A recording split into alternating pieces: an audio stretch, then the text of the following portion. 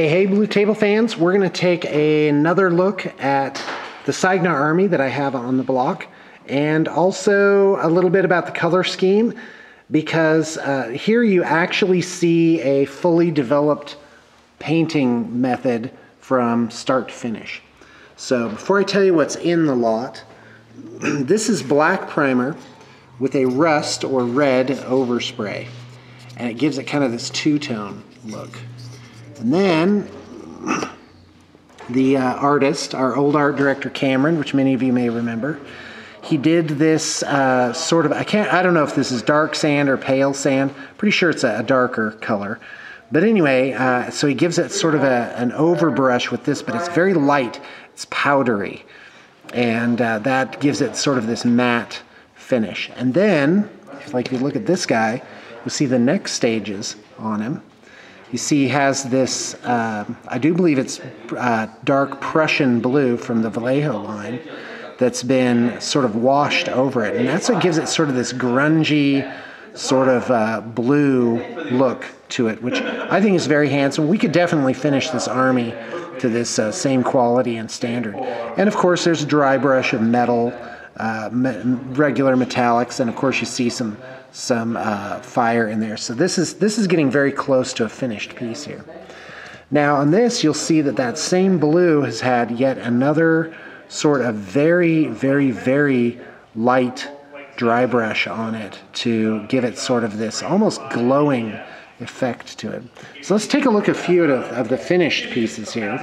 Well, in fact, hold on. So these trenchers, these have stages one through four on them.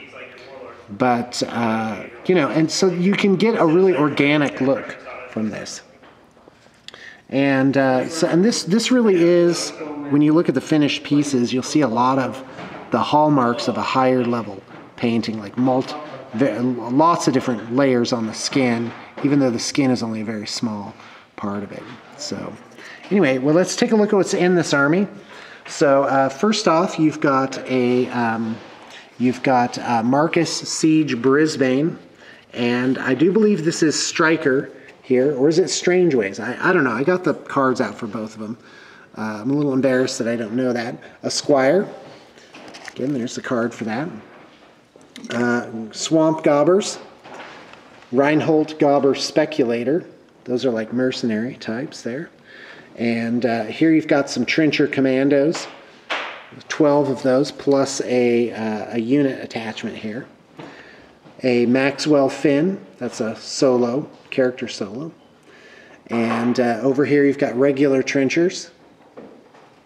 And I, I, may be off on some of these things. Two heavy weapons, including a chain gun and a cannon. And then some gun mages, completely unpainted there. An infantry rifle grenadier, see, what have I not mentioned so far? Oh, the jacks, of course. You have three light jacks and two heavies. And uh, that is that is the entire army. It's a really good army. It's ready to paint. We can finish it here at BTP. Or uh, you can just take it and knowing what you know about uh, the color scheme, you can finish it yourself. You get all these cards with it. Uh, I'm pretty sure all the cards are in there. There's certainly a giant stack. Uh, couldn't find a card for these guys, so uh, I don't know if that's just if that's if I just didn't see it or, what's going on. But uh, this lot is up for sale. It's really absolutely fantastic, and uh, thanks for tuning in.